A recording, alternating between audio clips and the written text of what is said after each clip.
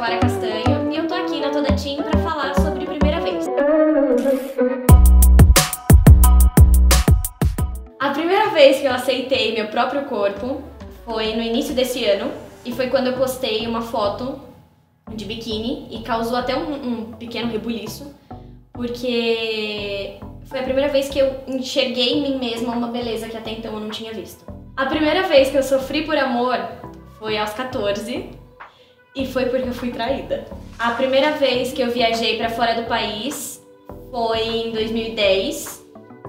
Foi com uma viagem, foi uma viagem da Caras com o SeaWorld e eu fui com meu pai. A primeira vez que eu me assisti no cinema foi em Efada. E eu não sou de assistir muitas coisas que eu faço, sou muito autocrítica, mas foi muito emocionante, eu lembro com muito carinho. A primeira vez que eu dei um beijo na boca foi aos 12 anos de idade.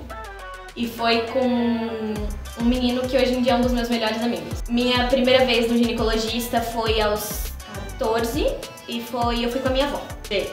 É a primeira vez que eu levei o fora. Eu posso estar errada, eu posso não lembrar, mas que eu me lembre, eu nunca levei um fora.